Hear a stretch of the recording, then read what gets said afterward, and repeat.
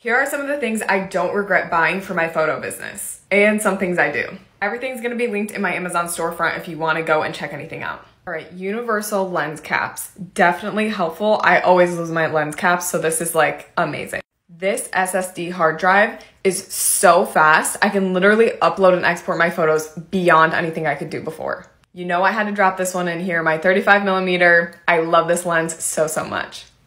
This Elephant SD card case, I love how I can see the tops of all of my cards, but it holds so many. It's awesome. This little dust rocket thing to clean off my sensor and my lenses, it's so nice. Something I do regret buying is this prism. I literally never use it or have time to pull it out. And also these reflectors too, I don't really know why I bought them.